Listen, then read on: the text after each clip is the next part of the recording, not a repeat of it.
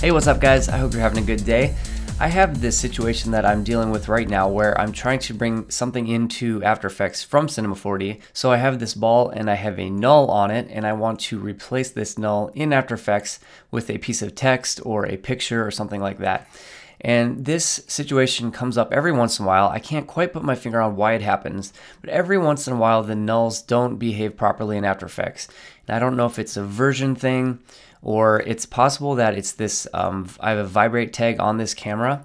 Um, and this null is nested inside this camera. So maybe um, it's having a hard time figuring out the position data of the camera plus the vibrate tag. Um, it happens every once in a while and it's very frustrating but I do have a workaround which might be useful in certain occasions for you. So we have our null with a, um, a external compositing tag. And before you used to have to go to save and you'd go to your compositing project file and you would save out your After Effects project file. You don't have to do that anymore. Right now you can just, with uh, some of the recent updates, you can just drag your Cinema 4D file into After Effects and then you can drag it into a new composition and we'll have this Cineware plugin and at the bottom we can just click extract and that's going to extract our camera and our null. And I actually have this rendered out so I'm just going to paste it in here so we can see what's going on a little bit. So it looks sort of like everything is going okay right now. If we click on that null, it is stuck on the ball. Um, but something weird happens right here. It just disappears. The null completely just goes away. So for the first part, it's there perfectly and we can use it and then it's just gone. So this is really frustrating, but I have found that one thing you can do um, it's not a great fix, but it's a little bit of a hack. You can just take whatever has the animation. So right now, um, the null does not have any keyframes on it. It is a child of the camera, which has the keyframes. So what we're gonna do is right click on the camera, go to show tracks, and then in the timeline, we can go to function and bake objects.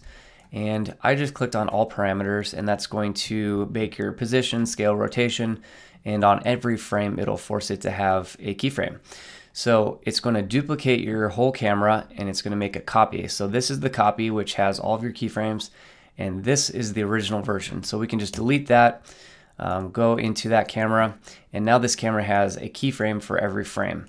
And I'm not going to go through all the steps, I've already done it, but basically if you bring in this Cinema 4D file, the one that's baked down, and we click on that null, you can see that we have our cannonball and the null is stuck on there and right here where before it flew away, the null stays on there.